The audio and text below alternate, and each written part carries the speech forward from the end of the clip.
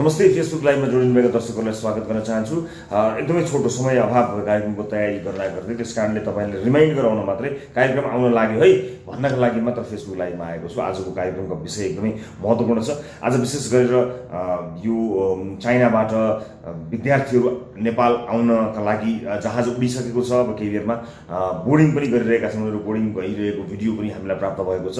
विशेष गरेर corona virus को सङ्क्रमण नहोस् भन्नका लागि चाइनाबाट विद्यार्थीहरू नेपाल आउन लागिरहेका छन् र केही समय आइसोलेसनमा बस्ने हुन त उनीहरू सङ्क्रमित होइनन्। धेरै मानिसहरूलाई भ्रम परेको छ कि सङ्क्रमण भएका यो कोरोना भाइरसबाट ग्रसित भएका बिरामी भएका मानिसले आउन लागेको हो कि भनेर भनिरहेको छ र केही मानिसहरूले अमानवीय व्यवहार पनि गरिरहेका छन्। यो अत्यन्त गलत कुरा हो।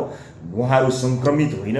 उहाँहरू सङ्क्रमित भयो भने त्यहाँबाट चाइनाको इमिग्रेसनले अगाडि आउन दिँदैन। यस अगाडि पनि हामीले निरन्तर भनिरहेका छौँ।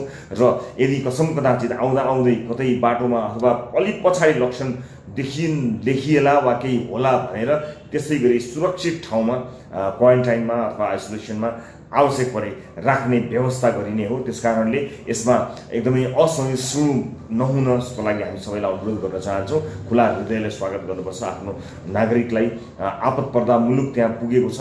यो अत्यन्त सराहनीय कार्य हो।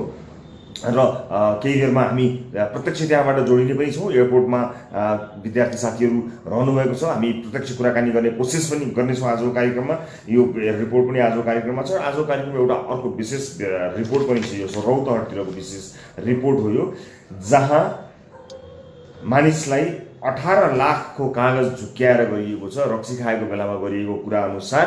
त्यसैलाई आधार मानेर झुक्क्याएर अठार लाख रुपियाँको कागज गराएर मानिसको बिल्ली बाठ गराउने सम्मको क्रियाकलाप भएको छ। यो खबर थाहा पाएपछि यो न्युज रोक्नका लागि हाम्रा टिभी जर्नलिस्टलाई फोन मात्र होइन प्रलोभनको प्रयास हामीलाई केन्द्रमा कल गरेर पनि यसो खाजा साजा खाउँला भन्ने सम्मको प्रयास समेत भएको छ। र अन्य विविध रिपोर्ट छन्। समय अभावले म यसलाई यो फेसबुक लाइभलाई यहीँ छुट्याउने अनुमति चाहन्छु। दर्शक महानुभावहरू केही बेरमा कार्यक्रम सिधा कुरा जनतासँग प्रत्यक्ष रूपमा यहाँले हेर्न सक्नुहुनेछ।